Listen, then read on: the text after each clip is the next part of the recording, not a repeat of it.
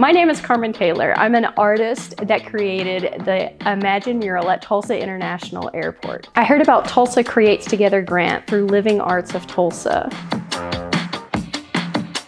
So I always start off my murals and I project it with an old school projector onto the building.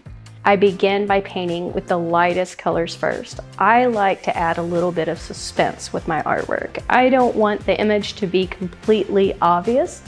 So I start with those lighter colors and work my way into going brighter and then darker.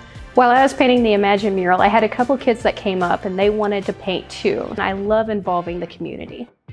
Some of the details that I wanted to include was the shape of Oklahoma, a heart where Tulsa is, the Tulsa flag, the scissortail fly catchers, Indian paintbrushes, and then things that made it a little bit more personal to me was my kids' handprints, um, a button that says fly, I have one that says M3. There's little things in there that kind of relate to a personal touch to me. Now with the mural being finished, I hope this mural will inspire everyone to imagine.